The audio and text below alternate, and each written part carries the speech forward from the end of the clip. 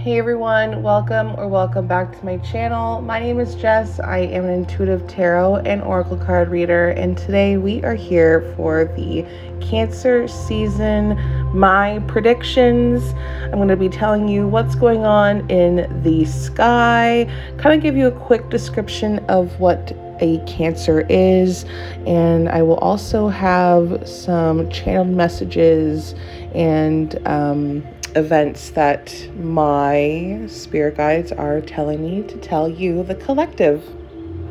If you're looking to just cut right to the chase, I will put the timestamps in the comment section and in the description if you're just looking to cut right to the fun stuff. Please remember to subscribe leave a comment, leave a like, and if you're looking for a private one on one session with me, you can find all the information and prices in the description. All right, so what is a Cancer? The Cancer sign is the fourth sign of the zodiac wheel. Um, they are a little bit more emotional, but they are very nurturing, highly intuitive, and sensitive. They also um, maybe a little bit more insecure about things, which might kind of help them in their intuition and um, their nurturing. Because of this, be ready for a lot of things um, in terms of great, profound healing or um, communication a lot of this stuff is going to start coming up within the next month. Cancer season uh, started on June 21st and it's going to last until July 22nd. So let's see what kind of events are going to be happening here in the sky. According to my notes, on June 26th, there's going to be Mercury in Cancer. This is going to be the best time to communicate with people that are close to you do not take things too seriously. That is my uh, one advice I can give to you on this date is to not take everything to heart, not take everything so seriously. On June 30th, Neptune retrograde. This is going to happen until December 6th. Um, I think this is going to really heighten those spidey senses. If you are already feeling it, seeing a lot more synchronicities or coincidences, if you want to call them, um, your spidey senses are tingling. and the truth behind uh, fantasies are really going to start to reveal themselves. Um, I'm already starting to see some of those patterns come up, especially within the last couple days. Um, you know, with everything that's been going on in the world, there's just been a few major events that are really revealing some truths. On July 3rd, there's going to be a full moon in Capricorn. We just had a new moon in Gemini, I believe. Yeah, new moon in Gemini. Uh, so July 3rd will be the next um, lunar event that's going to bring a lot of focus on the outside world, materialistic type of stuff. And on July 17th, we'll have another lunar event, the new moon in Cancer, which is going to really um, create a real sense of belonging in the world. I am not an astrologer, so I could be missing some major or other key events that are happening, but um, that is what I have in terms of my predictions for the next month or so. So let's just go ahead and dive into some of my channel messages that I got during my meditation for Cancer season. So this month, be prepared. I'm going to see a lot of obsessiveness, obsessing over worldly issues.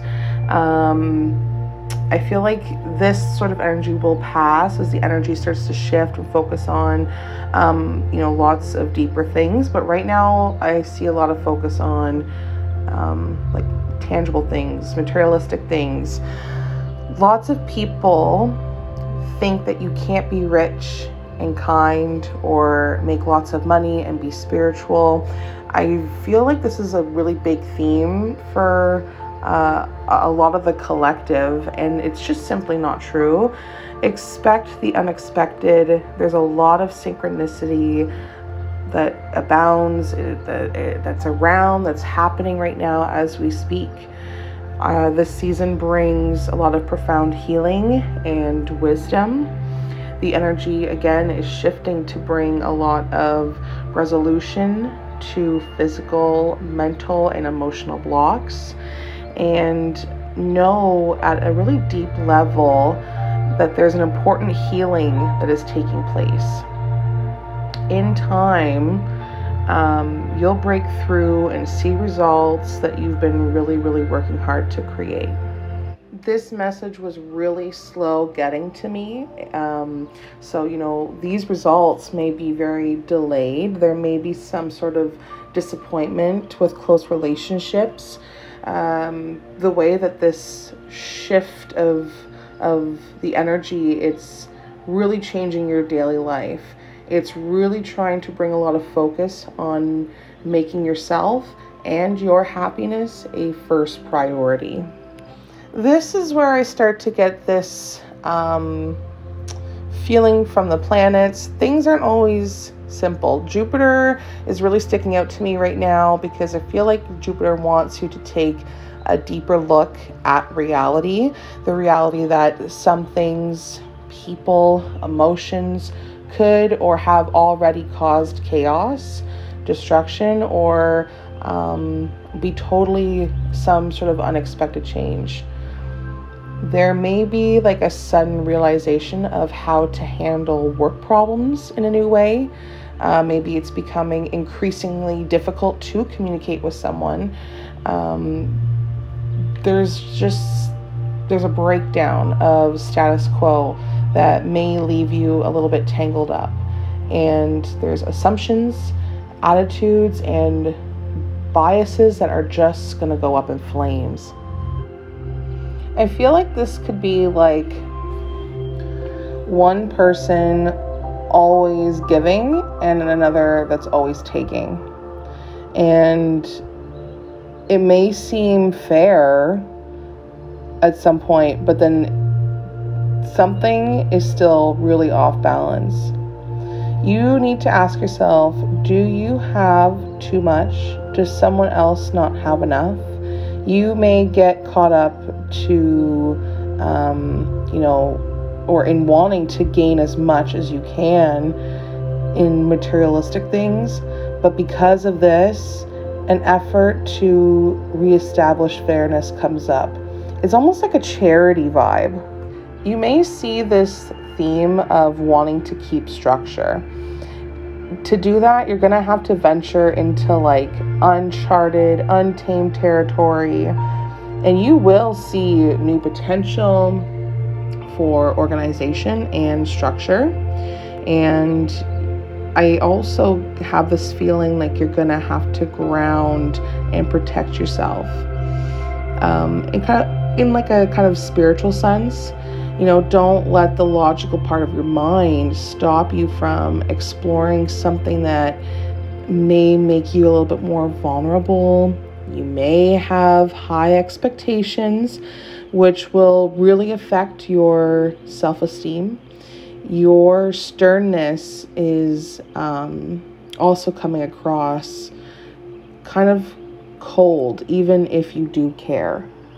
I think this is where you can kind of see the um, traits of Cancer zodiac sign coming into play with a little bit of insecurity and, um, you know, trying really hard to, to nurture everybody and yourself that can easily get lost. So it's important to gain knowledge or learn whatever, get some info about the matter at hand or whatever it is that you're, that you're dealing with. Um, this could come in by messages or newspaper, television, or like some sort of email. I'm getting like something about socials. Whatever it is that you're trying to get organization with, um, or or you know be more vulnerable to or whichever there's something about social something social that can help you. It's okay to be curious about the new things that are being presented to you as well. I'm kind of getting like you know this new information that's coming to you. It's like the curiosity that makes you lack patience and responsibility. You may be um, at someone's mercy for a really good tongue lashing or even like spicy gossip. It's it's possible someone feels really free to speak their own um, mind, assumptions, biases, or like even prejudices. I, I just I just feel like you you may see or feel like um, you are having to surrender to the pressure, but um, ultimately you are really just facing your fears. And um, you know speaking your truth. And I think it's also kind of important to ignore some criticism so that you can take control back. If you're looking for organization, if you're looking to like build or have some sort of structure, get the information that you need so that you can take your control back, but also not listening to what everybody has to say. That's kind of a good message too from this. It's coming up in a lot of readings that I'm doing or um, YouTube videos that I'm watching, stuff like that, like it's starting to get more and more difficult to work with people. Um, I think that this month the collective is going to be gaining a really um, wider perspective, higher and wider perspective. I'm getting this need to see yourself in a different light or see someone else in a different light. It's also like looking at things through like somebody else's eyes if that helps. This could just, you know, help heed a call, follow a path or, you know, help you take the action that you need. And I'm like hearing like it's something particular. It's a particular action um, you know, without withdrawing from your regular routines or your everyday activities, um, this next move may be a more direct approach to, um, you know, reconcile the opposites that you're having. The goal is to bring balance back, to have harmonious environments um, you know, actions always have consequences. I feel like there's also a big theme of accountability in the last past couple weeks. Um, you know, have your actions landed you where you are? Can you learn something from your situation? This is simply a form of karma for some of you. And the sooner you learn karmic lessons, the better off you will be this season, there may be the want or um, tendency to rebel against ethical laws, even when you know better. Like, this is wanting to look for an easy way out. Whether this is like being sneaky or cleverness or like, you know, even having the audacity there's something about this month where there's possible lies and dishonesty in Cancer season. There is an urge to stay ahead of the game, to, um, you know, be ha- like have resourceful behavior or like be a part of dodgy deals, trying to get away with something. My big, big thing here is don't be manipulated and don't be the manipulator. You don't have to show or tell everybody what you're doing, but it's important not to be a part of some sort of game or do dodgy deals or make it seem like you are a problem or the problem. Another prediction that I have this month is the ego. Your ego can all too easily create its own prison. There is a high price paid for good fortune and realizing, you know, it's no longer healthy to be with people, possessions, situations, or even past events. Um, keep enough energy for yourself stop trying to control everybody and every situation and try a more relaxed attitude and approach. There may be people working together or, um, you know, building stronger, closer relationships that battle ideas, battle thoughts, battle opinions, but have to come to a compromise. I see that this month people might be looking for an argument. You might have a short fuse and you may be mentally burnt out. Uh, whether this is like an like an already thing for you or coming into the next few weeks, but this sense of being burnt out um, is is very strong. There has to be a common ground. Common ground is very very important. It's important to get stress levels under control. And when that happens, watch a peacefulness and harmonious environment start to flourish. Whether it's with people, a workplace, home life, um, close relationships, whatever this is, I, I feel like it's um, going to bring a lot of better environments and people and, and just like an overall kind of like a peace that falls over everything this month. Issues aren't as bad as you believe them to be. So, did I lose you yet? this is a lot of information to take in, lots of downloads that I got for cancer season, but um, clearly these messages had to be delivered. There is a lot going on in the universe, uh, you know, in our universe and outside of our bubble. So, yeah, hopefully, hopefully you're following along. uh, possibly an earth sign energy um, that is using their power for negative use is what I'm feeling as well. Um, I feel like there's possibly mean spirited people or um, someone here who's trying to be a social climber, somebody who's jealous, you know, when they, there's somebody here that's, again, possibly an earth sign. Um, they come across charming and nice, but there is like an undertone of sinister behavior almost if that makes sense keep it keep an eye out for that i don't think that's exactly happening in the early cancer part of the season but definitely later on. I feel like mid cancer season to late cancer season. This could also be like somebody thinks that they are leading in a positive way, but they're coming across as sinister.